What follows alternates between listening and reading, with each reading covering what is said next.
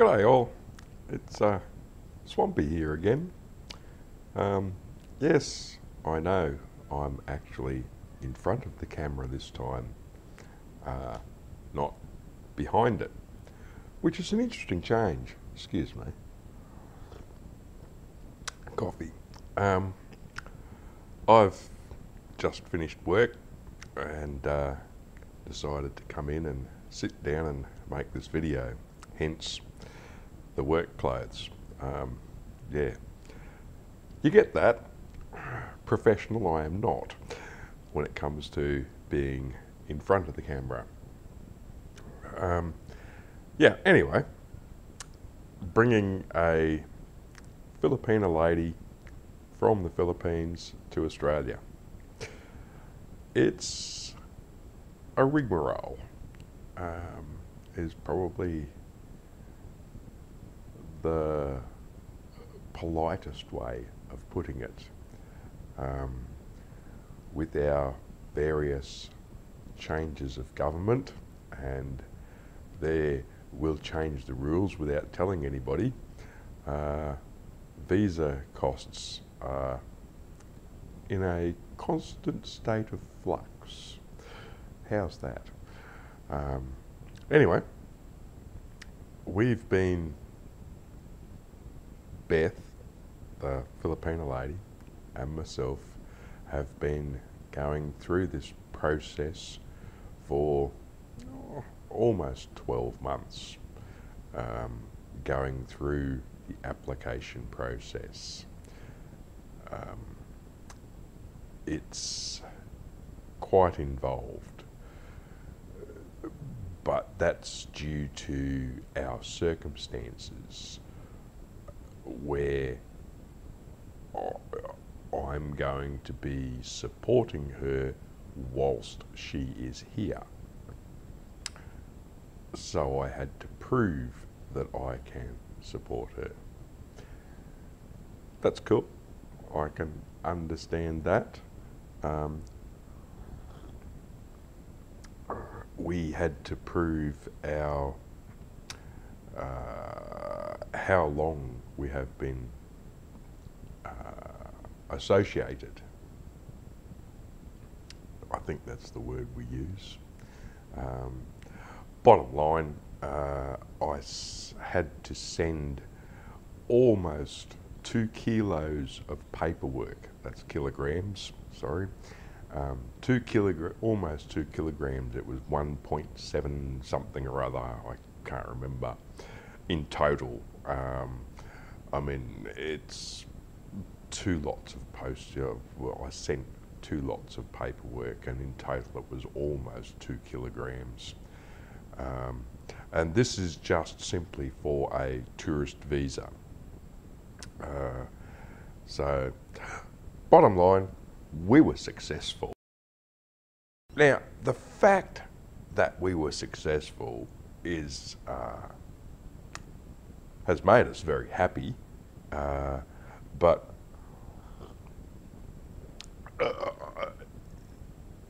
my the best piece of advice that I can give to anybody is find a reputable agent agency in the Philippines so that your lady, if you're intending on doing this, so that your lady can talk to an agency in the Philippines and they will assist her with all of the paperwork requirements, etc.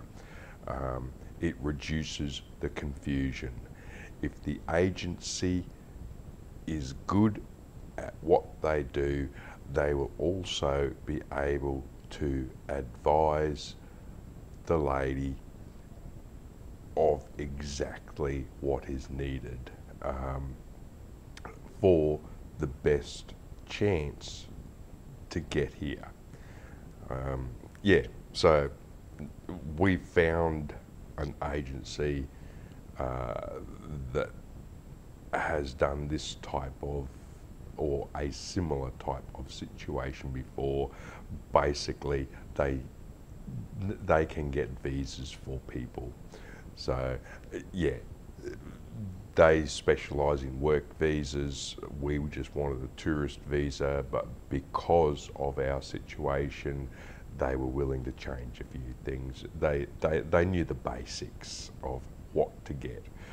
The Australian government uh, website for the embassy in the Philippines is sort of helpful, but it's confusing because they have changed how they accept payments um, and they use, here's a thought, they use an outside agency to collect all their funds. Hmm.